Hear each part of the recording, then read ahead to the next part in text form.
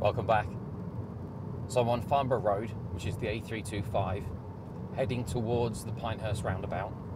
And I'm going to pretend that the examiner's asked me to follow the road straight ahead towards London Camberley.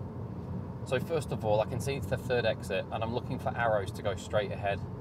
So the, the middle lane and the right lane both go straight ahead, so I'll definitely use the middle lane. Looking to my right hand side, it's all clear. I'm moving out. Very important to get the correct lane there. Even though both lanes go straight ahead, you should always be in the left lane where you can be. Just remembering the right hand lane is for overtaking.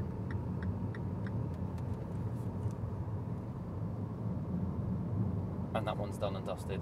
So as I leave the roundabout, looking in my interior mirror to see if anyone's followed me into the road, and my right mirror to make sure no one's overtaking me, and they're not. So next I'm approaching the Clockhouse roundabout, where I'm going to pretend I've been asked to turn right, and then as I leave the roundabout, to turn right immediately at the second roundabout.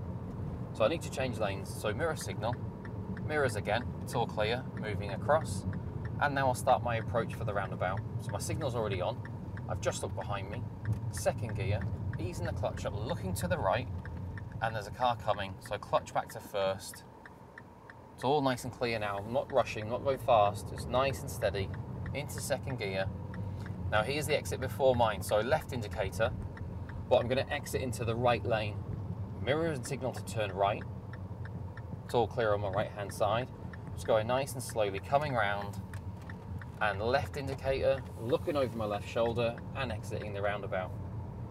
Checking my interior mirror, no one's followed me in, and there's no one overtaking me in the right mirror. And that's the Clockhouse roundabout turning right. Just be careful there. Remember, when I exited the roundabout, the first one, the large Clockhouse roundabout, when I came to the exit, I had two choices. I could take the left lane or the right lane. I only went in the right lane because I was immediately turning right again. If I was asked to go straight ahead there, I would have always taken the left lane.